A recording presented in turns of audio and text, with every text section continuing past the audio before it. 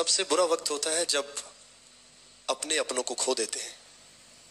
सबसे बुरा वक्त होता है जब कोई घर से जाता है और वापस नहीं आ पाता।